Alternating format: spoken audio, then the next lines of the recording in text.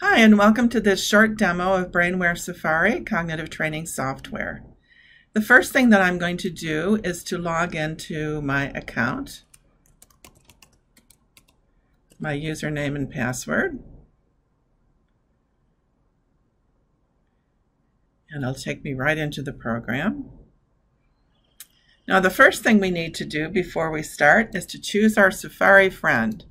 So I'm going to go into the Safari Corral and here are my friends that I can choose from. Billy Bear, Patty Parrot, Moby Monkey, and Jackie Jaguar. So let's see, I think I'm going to choose Billy Bear today. And I will go back, and now we can actually start playing. So we'll go to the jungle, and I'm just going to show you a few exercises, a few of the 20 exercises in Brainware Safari. I'm going to start with Bear Shuffle. So I can see that I get my instructions and I can read them or I can listen to them being read aloud by clicking on Level the speaker. Level 1 starts with three cards face down. The cards are turned up one at a time. I already know how to play this level, so I'm going to go ahead and show you. The computer's going to give us three cards when we click the Start Challenge button. And then it's going to turn them over so we can't see the numbers anymore. And our job is to get them into numeric order from smallest to largest. So I'm going to grab that 3 in the middle and move it up to the front. So it was in the middle. I'm going to move it up to the front. And I'm going to check my answer. And I got it right.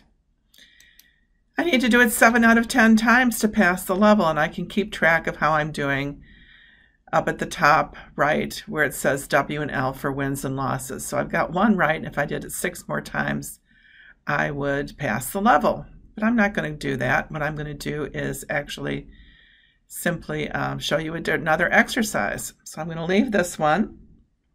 The next one I want to show you. Those who never give up always win in the end. Yes, they do. All right, so here is, um, I'm going to do Rhythm Ribbit. So Rhythm Ribbit is a challenging exercise. It involves clicking to a metronome beat.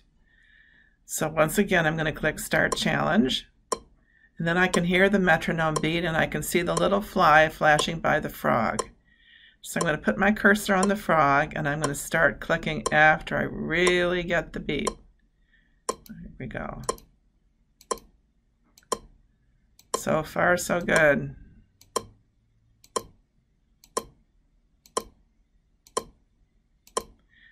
Let's see if I can make it. Oh, now I was early.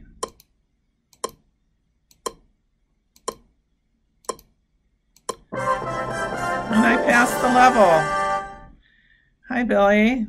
Thanks for coming out to congratulate me. All right. All right. Excellent. So I actually passed that level. That's fantastic.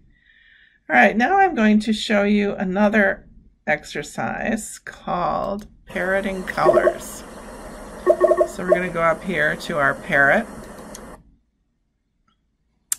And what's going to happen here is that we're going to see colored squares that are going to appear on the grid. And we're going to have a click here button. We just have to click on it five times and then click the grid squares in the order we saw them. So we have to remember the colors and where they were. Oh, here we go.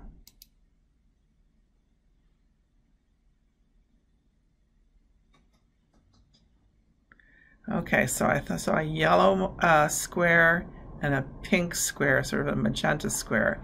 But I can't go ahead and click them yet. I have to click on the click here button five times.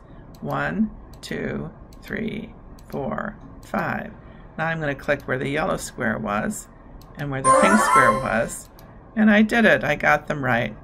And once again, I can check my progress on the upper right. And if I passed six more times, did it successfully, then I would get to go to level two. I think you're getting the idea here. Keep it up. I'm going to show you one more exercise. This tends to be almost everybody's favorite in the program. This is called Jungle Labyrinth, and it's about doing a maze. Now, the very cool thing about this maze I'll show you in just a moment. So all I do is I click once on the llama. I don't need to hold it. and I'm just going to move my mouse through the maze. Now what happens here is if I miss, like if I hit a wall like this. Good try. I can. Oh, okay. Well, I can't hit a wall. I have to really stay between. I also can't backtrack. I really need to plan my route and guide my llama carefully and smoothly through the maze. Let's see if I can do this. And on I go. Let's see. I'm almost there. All right, I did it. Okay. Well, you've gotten a chance to see a few different a exercises. to learn. So it gave me a message that I shouldn't stop yet because I didn't pass the whole level, but that'll encourage me to come back another time and practice.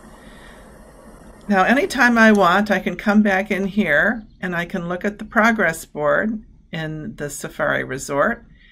Um, and you can see it has my name on here. Of course, my first name is Curious. My last name is George, Curious George. And I can click on the progress board and I can look at my progress. I know I passed a level. Yes, I passed one level of Rhythm Ribbit, so I got a gold bar for that. And so I can always check my progress, see how I'm doing, and decide which exercise and which game I want to play next. Thanks for joining us today. Come back and we'll play again sometime soon.